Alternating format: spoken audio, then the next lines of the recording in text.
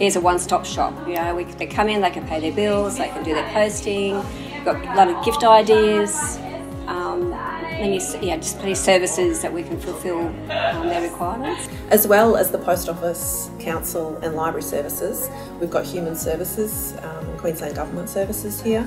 Um, a lot of pamphlets, information, computers, there's faxing and phone facilities to get to Centrelink. They'll come in and say, I've got a problem, even, even do for parcel, and you know, we'll, right from the start, we'll bring, say, bring the item in, we'll find packaging, we'll, we'll work out the, the more economical, cheaper way for them to, to post it, and they appreciate that, that we give them the options, not just like, this is the price and that's it. So we I think we just take that, that extra mile for them.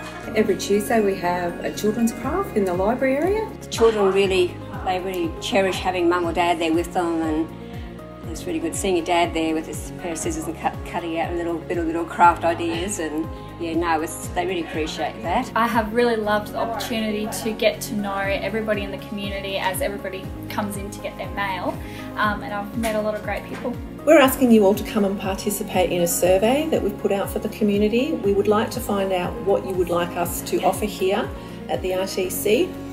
And also we're going to have a morning tea which will be a discussion after the survey has been released.